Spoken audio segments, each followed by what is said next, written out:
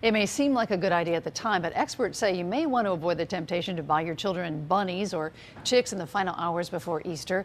Many families end up getting in over their heads. News 8's Bob Wilson is live in Hartford tonight with a cautionary tale. Bob?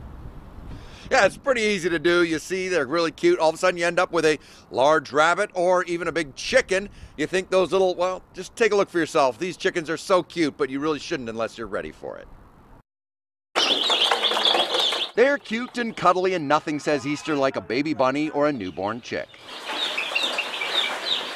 Dozens of people have been calling the Feeds and Farm Supply in Manchester looking to buy a bunny or chick for Easter. I don't think it's a good idea. I don't think people think about the rest of it when they get the little things. They're real cute and fluffy, but they get big and they last a long time, and there's a lot of work to them. I want to introduce you to a couple of rabbits. There's this black and white rabbit here, as well as this brown rabbit back here. Both of them were given as pets for Easter last year. Both of them were too much work for the owner, and both of them ended up here at the Henson Menagerie. They adopt Easter bunnies that were just too much work for their owners, and then they turn them into nice pets. So you need the rabbit, the cage, the food, the hay, the water, and some toys because they do love toys. And they make a mess. The cages need to be cleaned two or three times a week. And as for baby chicks, you need a heat lamp along with the food and water in cages because a newborn chick has to stay at 100 degrees. And then you need to have an outdoor area for them once they grow. These guys are going to be laying eggs within 26 weeks. So in 26 weeks, they're going to be a big, full-size chicken ready to lay you some eggs. It's okay, buddy.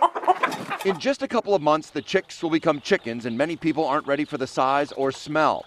Most stores only sell chicks after Easter and in orders of six or more because the birds live in flocks, and that way they go to serious owners. They're not household pets.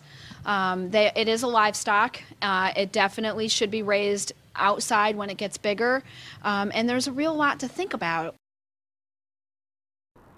You know, there is a lot to think about, and one of the things they said, how about a cute, cuddly kitten?